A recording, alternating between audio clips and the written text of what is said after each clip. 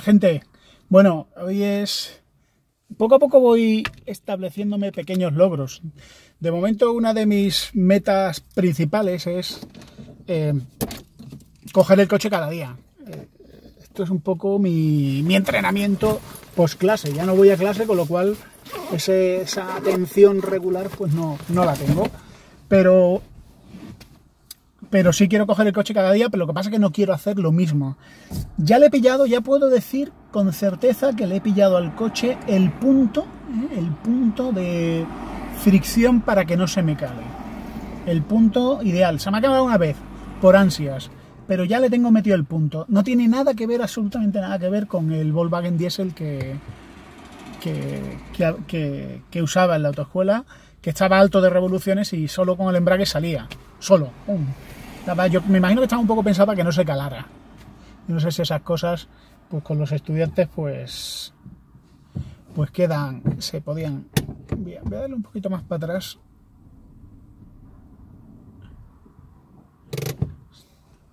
Vale.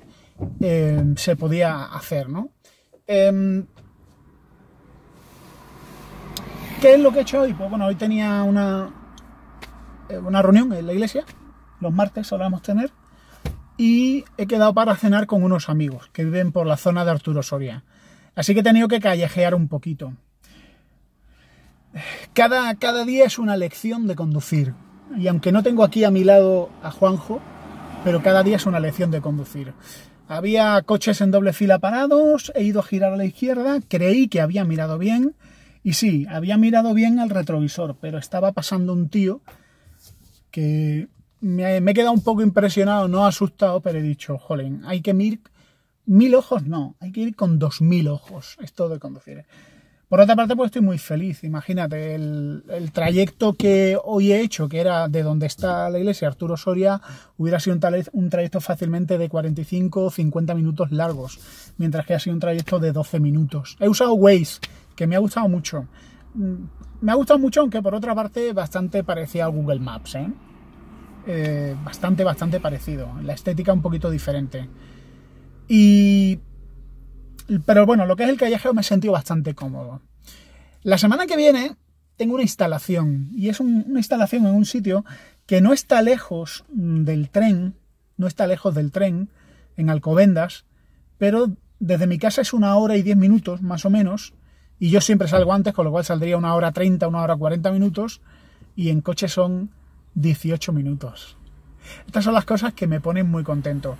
Implica salir a autovía, pero bueno, ese, tío lleva el coche hecho polvo. Pero nada que no haya hecho antes, la verdad, nada que no haya hecho antes. Así que bueno, aquí estoy haciendo tiempo y lo bueno de hacer tiempo cuando tienes tiempo de sobra es que estoy en el coche, no tengo que estar fuera de pie ahí. Hola, estoy haciendo tiempo, porque soy así de puntual. Eh, hemos quedado a cenar a las nueve y media y son y 24. Ahí no, que leo sin querer. Y 24. Vaya, me salta una notificación. Así que muy bien, contento de usar el coche continuamente y recordándome a mí mismo, ten cuidado, siga bien. Alguien me decía por internet que me habéis mandado algunos varios consejos, ¿no? Y alguien me decía, mira siempre en la dirección a la que vas a ir. Por ejemplo, marcha atrás. Es obvio, ¿no? Esto es un consejo que es obvio. Pues mira atrás. Esto también me lo han dicho en la autoescuela. ¿Vas a ir a la izquierda? Mira a la izquierda los espejos bien reglados, que tenga que hacer el movimiento mínimo. Una cosa que me habéis dicho es que hago este movimiento. Es un vicio que tengo, pero es innecesario. Son vicios de miope. Realmente con mover así rápidamente la cabeza y sin girar el movante, que es un fallo que se suele tener, que a veces gira, miras y al mirar mueves el volante y es muy peligroso. Me da impresión, porque realmente todo aquí es peligroso. A ver, en la ciudad es difícil porque la ciudad la velocidad es baja, aunque hay gente que va como como loca por la ciudad. Yo no, yo voy con bastante cuidado. Pero aún así cualquier porrazo es innecesario. Y hay peatones, con lo cual 50 por hora. Yo veo gente por la ciudad que van a 70, 80. ¿Dónde vas?